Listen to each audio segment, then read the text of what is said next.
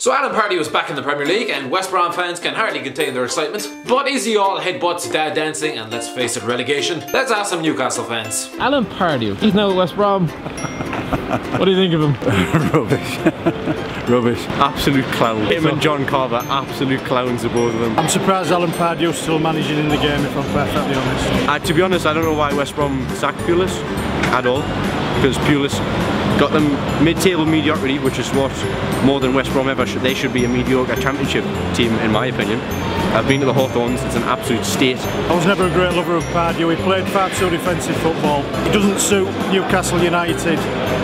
If you've ever been in the stadium, you know yourself. The crowd love winners and, and people that want to try. I, I can't understand this this club. We've had Kinnear, we've had Pardew, we've had Allardyce, uh, we've had Carver. We're laughing now. Got us promoted, but is he really good enough?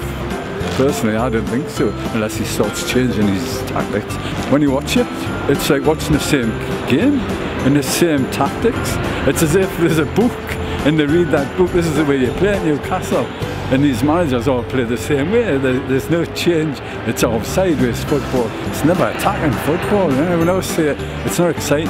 Pardew's hit on this, but I mean, if you, if you look at what's happened in the Premier League recently, where managers getting sacked from Premier League teams, and then they've gone to another Premier League team, you know. Moyes is an example. He walked, now he's back in the Premiership again. Allardyce is all over the place. I don't know how many teams that he's managed over the years, but he's managed a few. He's retired about three times. Yeah, got a good England record, mind, and that's it. Because he always has that honeymoon period, doesn't he? He had us, he took us to fifth, he took Palace from the bottom, almost the bottom of the Premier League. So I'm sure it was a top top half finish maybe in his first season at Palace. So he always seems to have that that that impact when he first comes in. And I think he probably will again at West Brom. But over time, as we've seen with us and Palace, and maybe even West Ham, just goes downhill.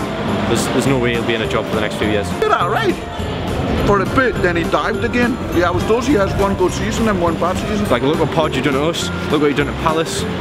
Like, nah, and John Carver should not have a job in football at all. Carver was never going to be a manager in my eyes. He was not fit enough to be manager. Him and Steve Stone used to stand on the touchline, and Pardew, sorry, used to sit, sit in, in the dugout. Pardew used to stand on the touchline, and then you'd get Carver or Stone would come out and hand a piece of paper to Pardew. It should be the other way around, surely. It used to be as if Stone and uh, Carver were running the team, not the other way around. And I, I could never figure that out. I mean, it's surely it should be Pardew going into them saying, right, I want that player on. But it never happened. Oh, well, he had a job in Cyprus, and he absolutely he got sacked from that. And that's Cyprus.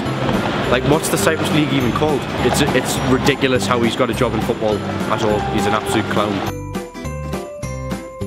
Thanks for watching. Don't forget to like, share and subscribe.